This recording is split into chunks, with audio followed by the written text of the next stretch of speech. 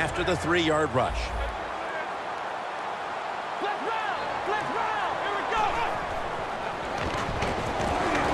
Taylor's taking off. Pass is intercepted. The 20, the 10,